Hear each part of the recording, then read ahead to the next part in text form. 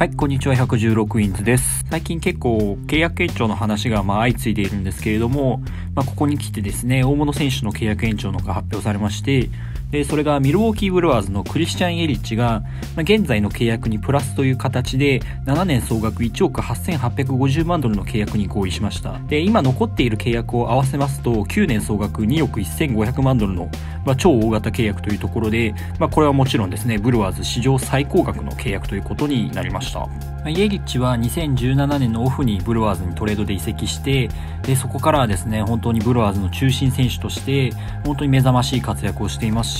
まあ、契約延長自体はまあ本当に妥当なものだと思うんですけれども、まあ、イエリッチの契約はですね、2022年からは年俸2600万ドルという風になるらしいんですね。で、個人的にはイエリッチを2600万ドルで毎年雇えるっていうのは、かなりのバーゲンなんじゃないのかなと思ってまして、今回はですね、このイエリッチの契約延長について話していければなと思います。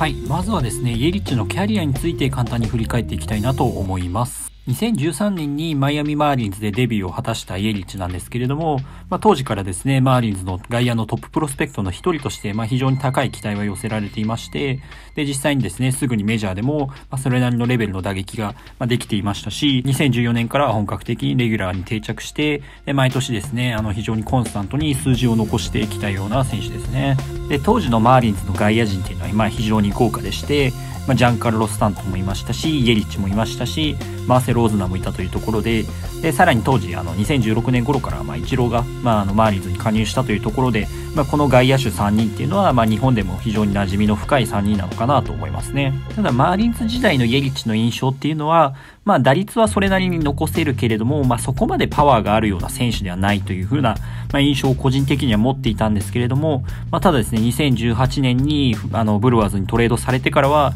あの、パワー面も本格的に開花し始めまして、まあ、2018年ホームラン36本で、アベレージもですね、3割2ブロックリンで、OPS は1ちょうどというところで、文句なしでナショナルリーグ MVP に選ばれるような、まあ、スター選手にですね、一気に成長しまして、で、昨年はですね、さらに2018年よりもも、まあ、一歩上の数字を残しまして、まあ、ホームラン44本で、で、OPS は1.1というところで、まあ、あの、残念ながらですね、9月の終盤に、あの、自打球で骨折してしまって、まあ、試合数が130試合にとどまってしまったこともあって、まあ、MVP はですね、惜しくもコディ・ベリンジャーに譲ってしまったんですけれども、まあ、あの、自打球での骨折がなければ、おそらく2年連続 MVP も十分あり得たような、まあ、成績を残していましたので、まあ、もはやブルワーズにとっても欠かせない選手ですし、MLB の中でも、まあ、現役トップクラスの野手の一人であることは、まあ、間違いないかなというところですね。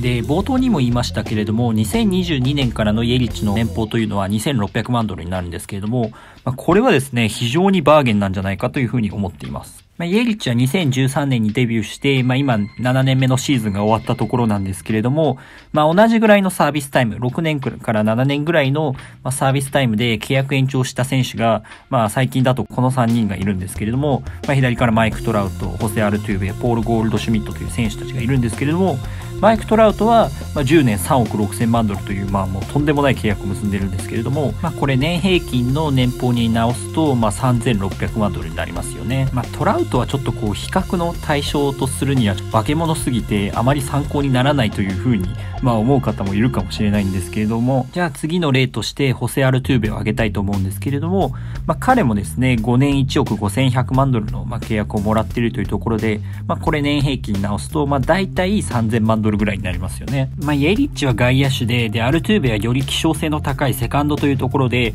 まあ、ちょっと年俸が高いっていう可能性はま十分あるんですけれども、まあ、それを踏まえたとしても、まあ、トラウト、アルトゥーベの契約の例を考えれば、まあ、イエリッチクラスの打者であれば、ま、3000万ドル近くの、ま、契約っていうのは、ま、十分狙えたはずなんですね。で、さらにもう一つ例を挙げますと、ポール・ゴールドシュミットが、まあ、5年1億3000万ドルというところで、まあ、これちょうどですね、年平均直すと2600万ドルというところで、まあ、イエリッチと全く年俸という意味では同じになるんですけれども、ただですね、ゴールドシュミットはこの契約を結んだ時31歳だったんですね。で、イリッチは今回の契約を結んだ時点で28歳ですので、ゴールドシュミットと比べても、まあ、3歳の年齢差があるわけですね。まあ、その年齢差を踏まえれば、まあ、ゴールドシュミット以上の契約、まあ、以上の年平均の、ま、契約っていうところは、やっぱりイエリッチは妥当なんじゃないのかなとは思うんですね。ともすれば、やっぱり今回のイエリッチの年俸2600万ドルっていうのは、あの、ブルワーズにとっては、まあ非常にバーゲンだと思いますし、チームにとってもですね、良い契約だとは思いますね。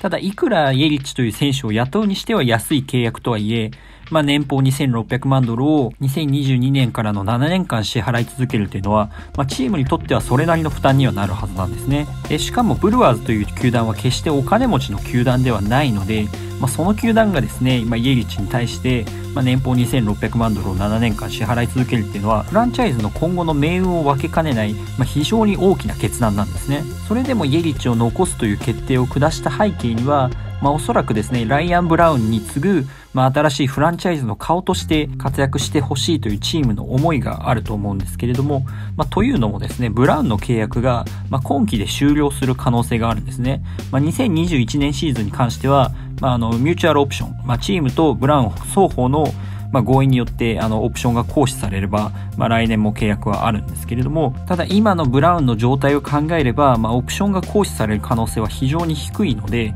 まあ、ブラウンがですね今季でブルワーズを去ってしまうっていう可能性が、まあ、結構高い状況にあるんですね。もちろん何らかの形でブラウンをチームに残すという選択肢もあるとは思うんですけれども、まあ、ただですねブラウンも36歳ですし、まあ、野球選手としてもうそう長くないという状況に、まあ、ありますので、まあ、次のブルワーズというチームの、まあ、顔となる存在を誰にするかという時に、まあ、イエリッチが適任だろうという判断がおそらくチームの中で下されて、まあ、今回のこういった契約につながったんだと思うんですけれども、まあ、今後はですねイエリッチを中心として、まあ、ブルワーズが、まあ、チームを組んでいくっていうところにあのなっていくんじゃないのかなというふうに思いますね、まあ、ブルワーズの思いとしてはイエリッチがいるうちにワールドシリーズ制覇っていうところがおそらく目標としてはあると思いますので、まあ、今回の契約でイエリッチが当面ブルワーズに残ることは決定しましたので、まあ、今後ですねブルワーズがプレーオフそしてワールドシリーズを勝ち抜くためにどういうふうにチームを組んでいくかというところは、まあ、非常に注目して見ていきたいところですね。はいいかがだったでしょうか？今後も MLB に関する話題を皆様にご提供できればと思いますので